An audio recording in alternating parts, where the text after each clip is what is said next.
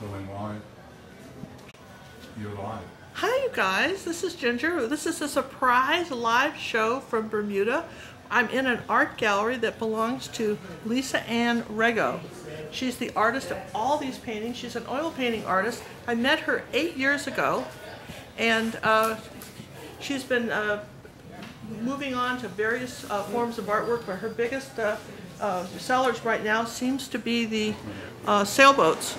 Uh, Lisa will be right back. She's in the restroom. She'll be right back. She's getting some lipstick, and you can see that the America's Cup is one of her um, most uh, fa famous paintings, and these are her best sellers right there on the wall, the America's Cup. And you know, when you're at a tourist location as an artist, you have to find artwork that's generic enough for it to go home and fit on the wall of, say, somebody that lives in Manhattan or Kansas. And so she's got a wide variety. She'll tell us about it. Like I say, she's in the restroom. We're giving her a chance to come um, uh, back from there so we could film. She has customers here. This is an open shop, so I want to make sure that we um, get enough footage of everything so that when she comes, she'll be talking to customers, I think, if, when they wander in. But what's exciting to me is that when you see a working artist, I want you to see that. See a working artist and what she's doing. You walk in here and you see these, these are originally oil paint. She's got giclées of these, which is are, are uh, prints on canvas. All right. You can see the different type of artwork she does, but she keeps this beautiful Bermuda theme. I love the you know, the colors in these and the rocks and the sky, uh, beautiful clouds. She's really good with people too, and I think you'd really like to see that. And if anybody's looking for our artist, here she is, you guys. This is Lisa. Yes, here she is. We're live on, on YouTube. Yes, uh, that's right. So welcome to my gallery. It's absolutely lovely to speak to you from beautiful Bermuda. And if you look behind me, you can see I've placed right at the back here a very important historical event that's just taken place, and that would be the America's Cup. And underneath it is in fact one of my celebrated pieces, which I look at you and smile at. It's called The Spirit of Bermuda. Bermuda is very, very colourful, and if you look very closely at the painting, you can see my particular interest in light and shadow and trying to create a world of uh, wonder in a sense by the way that I'm using shapes and colours. And Bermuda is just that, a very, very special place indeed. I like So- how you did the shadows on the sails, and I love how you painted the boat. It's just absolutely gorgeous, and your reflections in the water. I can see why that's one of your best sellers. What are some of the challenges you face as a gallery owner of a, in a tourist area? I mean, are you here seven days a week?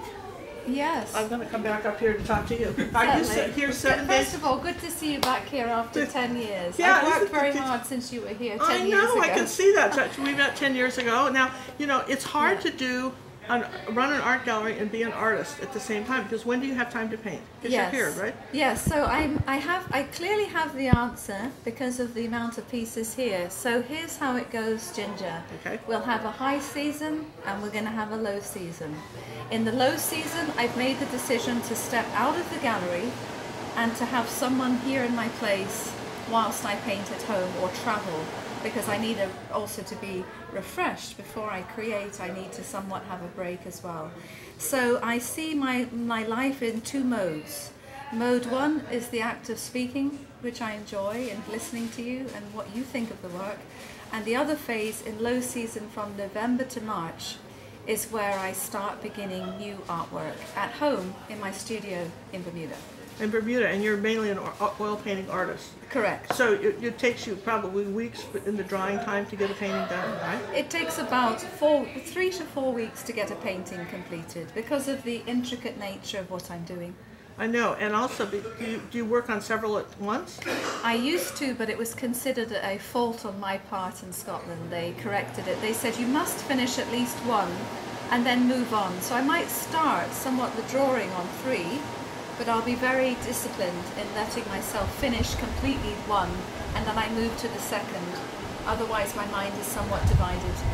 Interesting, because even I would have thought because of the long draw, drawing times that you needed to just work on several different ones, but that's interesting. Interesting, but I use a gel or a resin to speed up the drying process. In other words, uh, it takes about three to four hours to dry. Oh, that's great. And that's helpful to me because I can model um, some of the shades that you see in the sails and the tree within that three or four hour window, sleep, wake up the next day, it's dry. Well, that's awesome. That, that's absolutely awesome. So that's a good point. I, I would think it would be tough on an island to even get art supplies. Do you, you can you shop on Amazon? How do you get your stuff? I like the hands-on approach to purchasing art supplies, but we have a, a better art store than ever uh, before. Opened a few years ago in Bermuda, which I which I enjoy. But generally, I will purchase in England, in Sussex, where my my home, uh, where my brother lives. And uh, famously of all, three years ago, I actually found my favourite art store in Sydney, Australia. Really? So having come out of the Sydney Opera House, you think I'm joking, I'm not, it's true. I went to a Brahms concert, came out of the Sydney Opera House, turned a few corners and found myself in front of the largest range of oil paints I've ever seen. And What's I, your favorite brand? My favourite brand will be Old Holland. Old Holland. All right, and they and they had it there in Sydney because we have a lot of viewers from Australia Yes. that watch. Yeah, absolutely. so they may not know that. So Well, that's I'm going good. to Australia two weeks' time. Are you? Simply put, it's where one of my closest friends lives, who used to live here in Bermuda and now lives in Melbourne, with other friends that live quite close by that once lived in Bermuda. So I'm visiting there and then travelling around, and then I'll go across to New Zealand to see where the America's Cup uh, trophy is now resting in Auckland, uh, New Zealand. So I'll see that as well. Oh, that's awesome. So Then I get back to work. Then you I- get back to work. Then you're then you'll be all inspired, which is what artists need to do is travel. That's what we like to do is travel to get inspired. So we've been trying to talk Lisa, and I think we've got her convinced that she should have her own YouTube show, and and um, I think that would be great. Don't you guys think that? Uh, I think you'd all watch her if she was on, on YouTube. Wouldn't you guys? Yeah. And we'll get some comments. You uh, write comments directly on our on this to Lisa herself. You guys were live, but when it goes when we leave it up on YouTube, go back and write Lisa some comments because she'll be reading them. She can't read anything now. We can't really answer questions, even though we're live. But if you'll go back and write Lisa some questions, if you have questions Yes, from Lisa, like Lisa. yeah, they would like you, and and they would, and so she's going to be reading your questions. So wait, you know, be sure to ask her some, and um, tell her what you like about artists on YouTube, and and how why you think you, that might be fun for her. You guys, don't you think that would be That great? would be a wonderful opportunity. And if I can, Ginger, could I share a very brief overview of my of Would how you- I came we to love Bermuda? it. Can we do this? Yeah, let's hear So, about could that. you follow me by the yellow building just, Just- here? whoops, this is Lisa. quite a story. I hope you find this fascinating. But basically, I left Bermuda at the age of six to live, as you can hear, in England and then later in Scotland. I missed Bermuda quite severely. Came back here just in 2001, met up with my sister, who actually owns the jewellery shop that's opposite me here in the, in the mall. And uh, I began to notice uh, quite suddenly this type of subject a yellow building. Bermuda's famously colourful, all of the buildings are differently coloured. And there it was, a lady passing a doorway. And it became, if you like, the Genesis painting. Lots of paintings followed, but this was the very first one I did. And strangely enough, it's actually quite impressionistic. After this moment in time, this soft pastel painting became uh, substituted with further ideas, which included sharper, clearer definition of details, and this would be using oil paints and fine brushes. And I have a great, great love for light and shadow. So as you look around the room, every wall has a different theme. Here's the architectural wall. You can take it in and my most recent painting is actually the sunset view, which is close to where I lived as a child. I lived in Warwick, Bermuda, and I used to fish from this dock. And I can remember well not being very good at fishing, but I would live in hope that one day I would actually catch a fish. But notice something very clearly I have a passion for capturing reflections and shadows on buildings. With that in mind, I work in series approach. I tend to do three of a kind and I have created after 16 years of dedicated work through juggling like you can't believe. As you've indicated, Ginger, there's a lot of juggling to run a shop and to paint. But as you look around the room, one brush stroke at a time, that's my saying, one brush stroke at a time, we have this collection of work. And I have the joy of meeting people who come in here smiling every moment from the cruise ships or from hotels. And it's lovely to Walk meet down them. that way and show us some of this work. We'll follow Sure. you down. This way. Look. Yeah, roll over down. Because this is a nice sized gallery and you get lots of tourists We love it. Yes. So here we have a close-up view of the same idea of reflections on water and architecture. And here in Bermuda we have a very luminous form of light. I've noticed, I'm sure you have ginger, it's We love very that word, glowing. Luminous form of light. Yes, That's it's, great. it's just wonderful. Can we It- use it- that word? Yes, Luminous. please, I like luminous. I do enjoy it. Wonderful, interesting story for you. On this painting on the far right, my dad would sail past this as a child and say to me, Lisa, do not look at the yellow house, for it is surely haunted. And in fact, in this yellow house, the Wizard of Oz was illustrated. So Bermuda is a land of intrigue, of beauty, of mystery. And I had the great, wonderful opportunity to go out to the yellow house that I was once afraid of as a child to find out this greater truth that it was where the Wizard of Oz was illustrated. And a little boy called Andrew from my youth club, no less, because all the children in my paintings are known to me, is playing the subject of looking in awe at where the Wizard of Oz was illustrated. I patiently waited for the reflections to appear on the water, and the boat I was on kept moving and interrupting the reflection of his boat. So it's quite a science, really, to, and pa- of patience. Wait for the light. It's one of my statements. You, Wait you for do the light. a lot. You do a lot of photographing then. I do. It's moving quite quickly, as you could imagine. So I work with photography, and then I'll make a sketch, and then a painting is made. So photography is very critical. is critical to my process. So are you using your cell phone cameras now, or you have a fancy camera? What do I you do? simply use I simply use traditional film still, yeah. and I oh I have interestingly enough been using my uh, camera uh, on my phone ginger lately. Yeah, isn't that great? I'm quite surprised that it's of the quality, uh, uh, good enough quality to actually use. And I used it for the America's Cup painting, which is this one.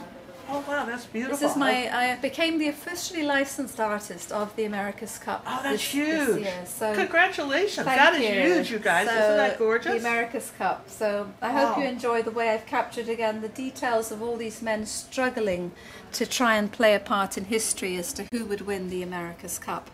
And uh, after several weeks, the painting was finished, sent to America, as all of my pieces are, to be super scanned.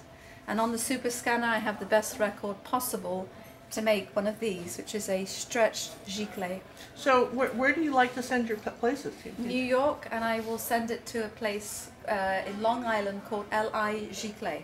L.I. Giclée. Dot where- com, Dot yes. com. That's where you send your artwork. Yes. Well, we like to know that. Well, that is absolutely beautiful. What was the original size of this? The original size of this was 33 inches by 23. 33. Quite a large size. Quite a large size. So now, when you're doing the detail on the boat, like the letters, what are, are you using a brush for that? Yes, I am. Yes, a very, very fine brush. And it was important to me, though it looks at first glance quite commercial, the branding and the names, I see it as an art form lettering. And I wanted to get the correct shape, so I am using uh, very um, medium and small brushes, very fine. You have a brand of brush that you like.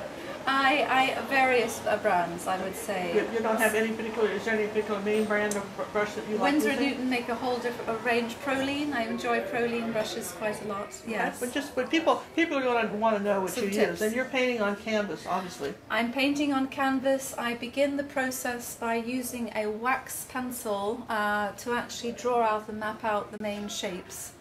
I then paint in the local colours in a very general sense. I then turn my painting and my photograph upside down in order to see the details and abstract the shapes. Another way of putting that, everyone, is that when something's the right way up, it becomes an object which is referenced by a word such as a boat, or a face, or a nose, or an eye. When it's upside down, it's more obviously seen as a shape, and that's what I critically need to see in order to paint it correctly. So you paint all your paintings upside down, basically. Every single one of them. Isn't that cool, you guys? Upside down. How how informative is this? Isn't that just awesome? And look at the uh, you know the detail. Now those lines are extremely straight um, on those. You know, I mean, Yes. very crisp. But are you using anything like a like a straight edge, a credit card put in against your brush? Anything to get that straight line? Well, I do need to be able to use that credit card, but I will tell you my secret because art is all about good artists will be transparent. It's simply this blue painter's tape. All right, so she uses tape too. See, we use uh, something called artist tape. Oh, you do? Absolutely, artist tape. Yes. And then my other trick I'll share you with you is that Yes. uh, they um, Uni makes a Sanford, and now it's a, it's all the same company. They make actually an oil painting fine pen. It's oil paint in a pen, and it dries instantly for when you're trying to letter. That's why I asked. Oh, that's fascinating. Yeah, it's called an oil painting pen, and you better want it because it's on there once you do I it. I will, I will. I'll look at, into that. Yeah. And as you unpeel this blue painter's tape, it doesn't uh, tear away on the yesterday. Well, that was good, right? Yes. That was good. I, we, we we're up long enough for it to Yes. get to hit the feeds, right? It says it's back again, so I can say We're goodbye. back. 'cause I So think we should we're we Should we losing say goodbye over here? Yeah. So let's come back and we're gonna say goodbye, you guys. Um, Should I hold up a picture with the? Yeah, hold up a picture with your children. Your, hold up a picture with your children. I love that and that you do. Yeah, I think it should be. Does it matter if it's in plastic? No, I don't think so. Like that? Look at that. Look at that detail. Look at the way she does people. Isn't that just great, you guys? How fabulous is that? We're going to say goodbye to Lisa in Bermuda. And I'm going to come in here like this. Can you see me? All right, we're going to say goodbye to Lisa. We, this was such an adventure. I'm so glad we got to see you. And we're going to encourage Lisa to get on YouTube and, and, and, and talk about oil painting and do some oil painting videos, Yes, right? perhaps have some stories underlying my work and inspiring thoughts in life as well, which are often attached to these paintings. I love to share the stories. Awesome. All right, bye, you guys. Bye from Bermuda.